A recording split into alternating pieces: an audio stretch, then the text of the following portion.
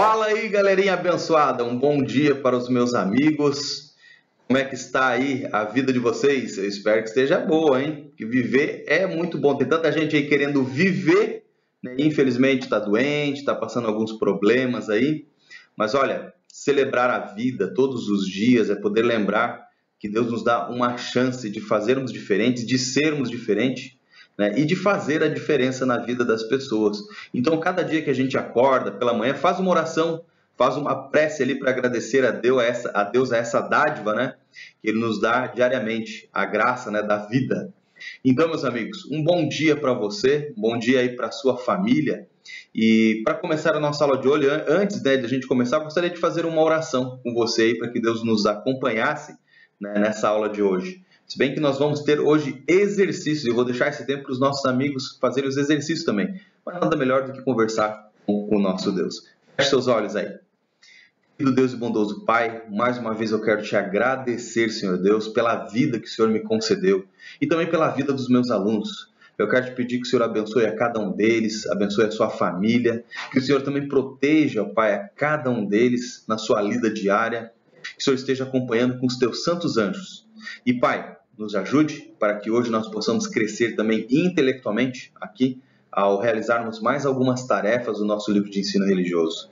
Ajude, ó Pai, para que esses alunos possam armazenar essas informações e naqueles momentos, ó Pai, que a gente mais precisar da tua ajuda, a gente possa lembrar de que o Senhor fez a diferença na vida de pessoas no passado, que o Senhor faz a diferença na vida de pessoas hoje e estará também conosco no futuro. Nos dê um bom dia, é o que eu te peço em nome de Jesus. Amém, Senhor. Galera, então vamos lá. Olha só, quero que você abra o seu livro aí. Ó, vamos ver se eu consigo colocar aqui nossa projeção. Aí, tocando o intocável. Tá? Estamos terminando nosso capítulo 12, nas partes dos exercícios agora. É, nossa última aula Zoom, nós podemos dar início ali a alguns exercícios, eu acho que num dos sétimos anos, mas eu gostaria aqui de então explanar no geral o que você deve fazer. Tá? Alguns ali ficaram ainda né, meio aéreo, como eu disse, é sempre bom você ter ali na sua mão. Ó, o professor sempre tem aqui na sua mão o livro.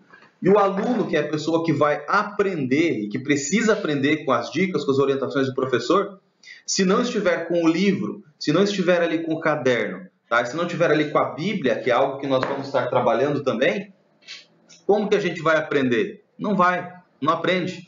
E assim vai ser nas demais matérias, tá? Nas demais disciplinas, em português, em matemática, tá? Em ciências, em história, sabe?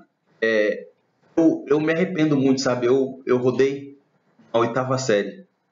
Eu rodei na oitava série e eu não queria nada com nada nos estudos. Eu acabei perdendo muito tempo da minha vida. Eu olhei para trás assim, alguns colegas meus já estavam avançados. Se eu tivesse, ele também, é, terminado mais cedo, algumas vantagens, algumas coisas boas teriam acontecido para mim, mas é, algumas mancadas eu dei, sabe? E eu, infelizmente eu não culpo né, os meus professores.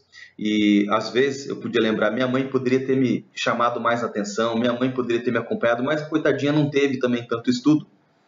Mas ela sempre dizia, olha, o seu compromisso com a escola, seu compromisso ali é, é, com os professores é passar todos os anos. Eu não vou ficar muito em cima de você.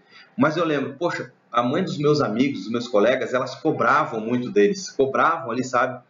E eu pude ver que lá no futuro, esses meus amigos, eles acabaram se destacando no mercado de trabalho, acabaram se destacando ali academicamente, né? E se tornaram ótimos profissionais, mas muito mais ainda, né? Pessoas inteligentíssimas, tá? Porque alguém disse assim, olha, vai lá, você consegue, vai lá, você precisa estudar, você precisa debruçar ali ó, sobre os livros, sobre as informações para que você aprenda. E certa vez um professor perguntou para mim isso, né? Na verdade, ele era um pastor e estava fazendo uma entrevista é, para o curso de teologia e a entrevista valia 10. E ele disse, Rafael, é, como que você vai fazer para adquirir o conhecimento? É, na verdade, ele fez uma pergunta era bem diferente. Né? Ele perguntou assim, olha, por que, que você deseja fazer teologia? que, que você deseja ali ser um pastor? E eu disse assim, olha, para, eu pensei, vou falar bonito para ele, né? Ah, porque eu quero ter conhecimento. Ele falou assim, não, você não vai fazer teologia porque você quer ter conhecimento. Por que, que você quer fazer teologia? E eu fiquei pensando, poxa, é, o óbvio é que eu senti o chamado de Deus né, para fazer teologia. E aí eu falei para ele, ah, pastor, eu não quis falar o que todo mundo fala, né? Porque realmente eu senti a vontade de Deus ali, né, o desejo de fazer teologia, senti a voz de Deus me falando. E ele falou assim, então é isso, é por isso que você vai fazer teologia, é isso que você tem que falar, Rafael. Eu, nossa, eu quis fazer bonito, falando outra coisa e me lasquei. E ele disse assim, ah, tu quer ter conhecimento? Tu falou, né? Então, conhecimento é baixar a cabeça sobre os livros, sobre as informações, é exercitar, é repetir ali ó, várias vezes a mesma palavra, a mesma frase, o mesmo conhecimento que a gente acaba armazenando no nosso cérebro. E aí, ele diz assim, então, ó, conhecimento é estudar, é estudar e é estudar. A mãe da sabedoria é a repetição, só que não a que eu experimentei. Eu acabei rodando de ano. E eu não sabia muito sobre português, né? E aí a minha professora num dia estava falando junto comigo e aqui ela me perguntou qual que é o sujeito da frase. Poxa, o sujeito é tão fácil, né? E eu coloquei, ó, o sujeito é tal. Beleza. E agora me diz qual é a conjunção. E aí dentro da frase tinha que, a palavra que, né?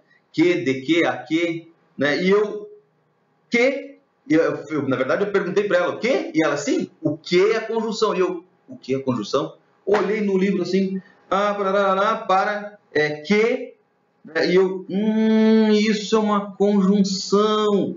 Se eu tivesse usado o livro, se eu tivesse acompanhado as aulas da professora, ouvindo ela falando ali e me instruindo, eu fico pensando, eu não teria perdido um ano da minha vida ali, né?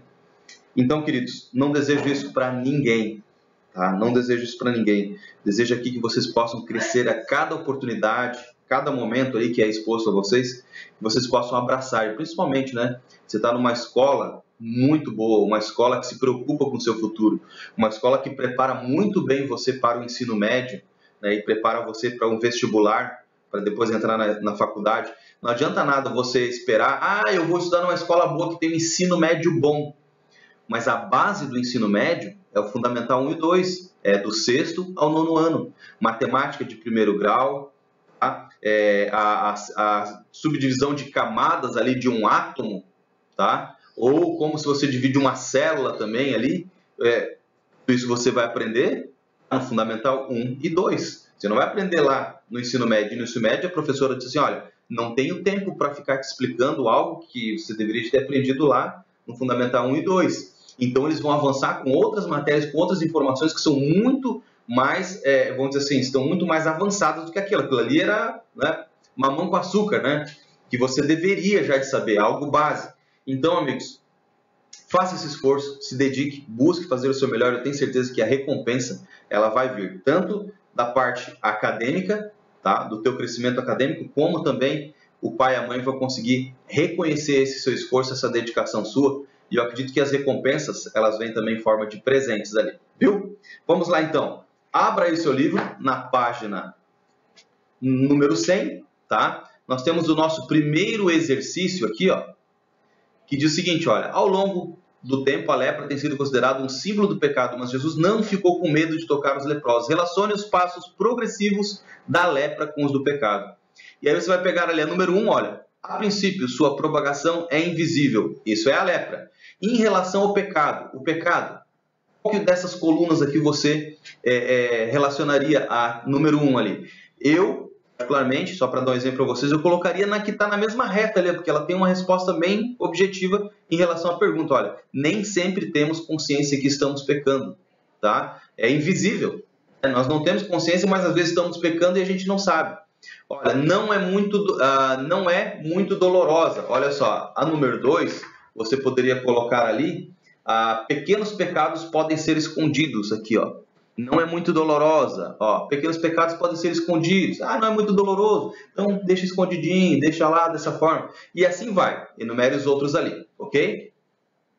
A número 2, olha, Jesus tocou em leprosos sem preconceitos. Decifre o código e descubra uma mensagem que diz respeito ao seu comportamento. E olha, essa mensagem ela está em inglês. Então eu quero ajudar os meus amigos aqui. Tá? Essa mensagem ela vai ficar da seguinte forma. Olha aqui. Essa aqui eu vou ter que dar um up aqui para vocês. Tá? E eu acredito que aí vai ficar mais fácil para você entender. A primeira palavra aqui, ó, dá para pelo número de palavras, tá? número de letras, que é Jesus. Jesus always richer ou and the total intocável. Intocável. Né? Olha lá, vamos lá. Meu inglês aqui é dos melhores, né? Você vê, morei 10 anos é, em São Paulo. Não é, é na, na, Inglaterra, não é nem nos Estados Unidos, viu? É em São Paulo mesmo. Vamos lá. Vamos abrir aqui o Word. E aí eu vou passar para vocês aqui o texto da número 2. Vamos lá. Jesus always Richard Bolt ajuda nós aí. Eu não quero salvar ainda. And Dolce.